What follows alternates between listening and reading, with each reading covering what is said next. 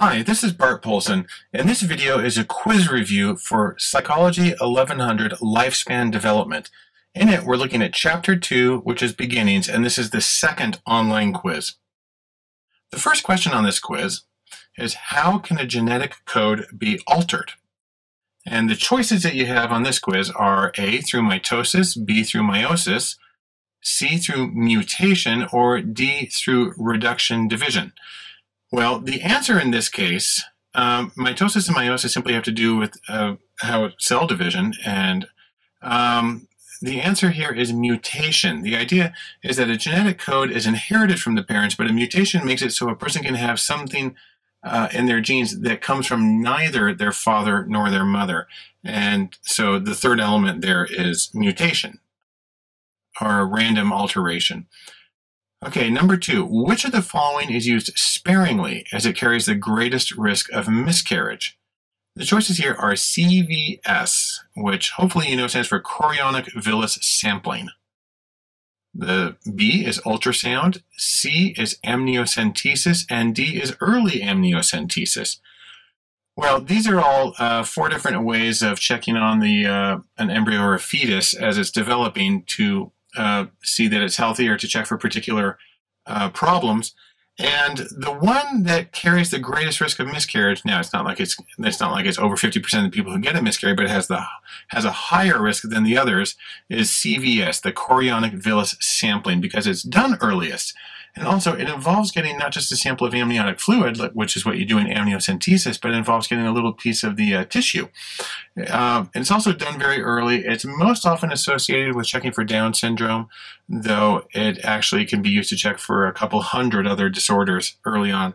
But uh, CVS, you don't want to do it unless you need to. Okay, number three. Why does only one sperm enter the ova? A. A chemical is released to prevent others from entering.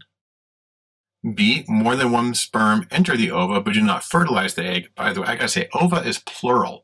Um, they should be saying ovum. Um, anyhow.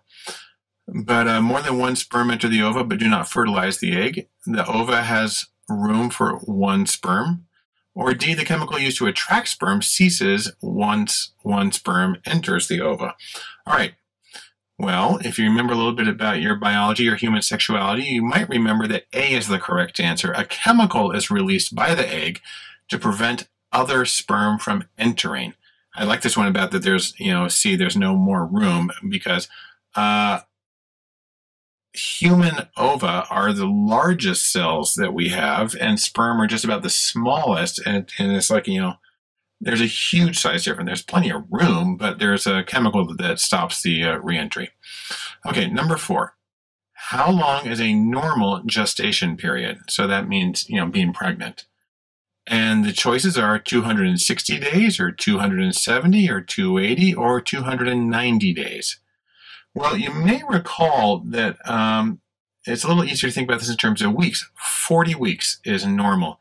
And 40 weeks, so 40 times 7, is going to give you 280 days. And that's the normal gestation period. Although, as we saw previously, coming two weeks early um, is still within the normal realm, is not considered premature. Okay, next one. Which of the following forms the digestive and respiratory systems in the embryonic stage? So, embryo, uh, that's very early on before it becomes a fetus. And the digestive and respiratory systems you get formed by the ectoderm, the neural tube, the endoderm, or the mesoderm. Well, in this case, remember we had a similar question that talked about the reproductive system, and that was the mesoderm.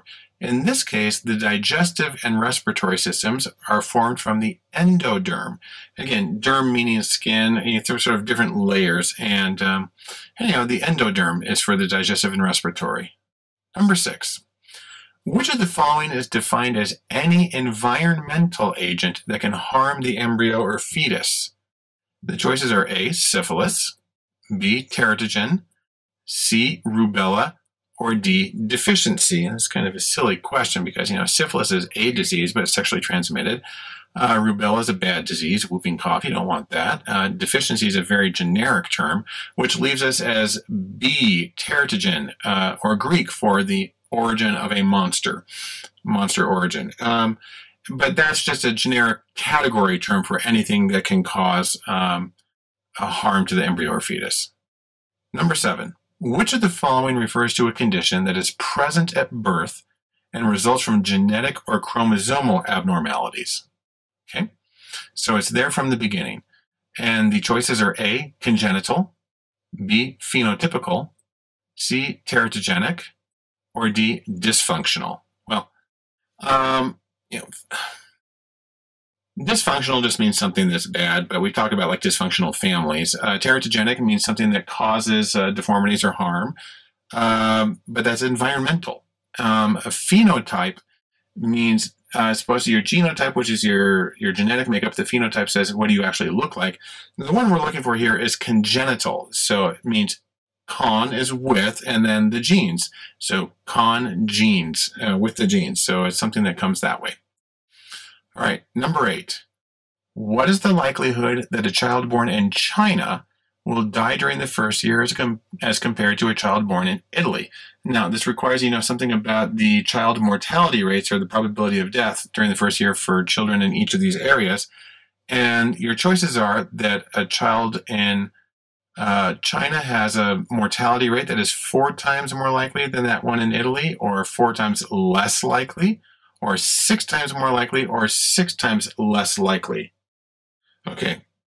Again, this isn't telling you what the absolute rates are. It's just saying that one is higher than the other. And in this case, the answer is six times more likely that a child born in China has, an, has a mortality rate that is six times higher than that which is in, uh, in Italy. Although I'd, I'd, be willing to bet that with changes going on in China, that that is going to um, probably out of date by now and will be changing dramatically, I assume. All right, number nine.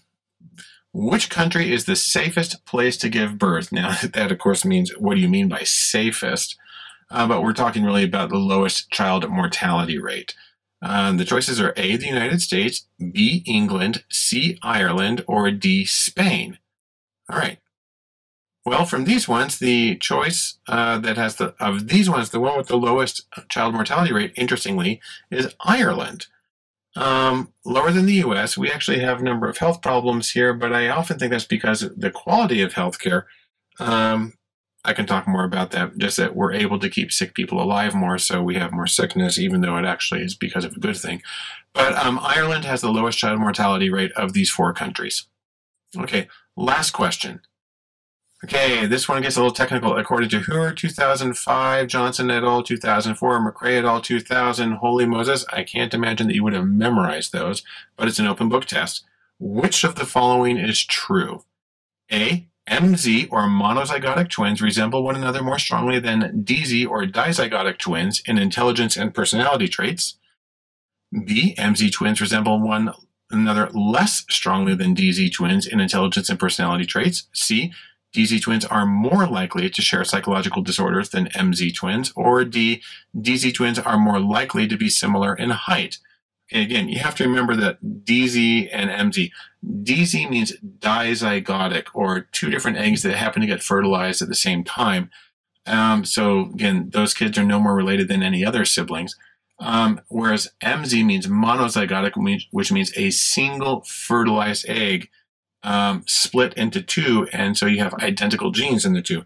Well, you know, with that in mind, considering that monozygotic twins have identical genes, then it's not too surprising that A is the answer, that uh, monozygotic twins or identical twins resemble one another more strongly than DZ, or dizygotic or fraternal twins in intelligence and personality traits. And with that, we've reached the end of this second quiz for Chapter 2, Beginnings in Lifespan Development. Thanks for being here.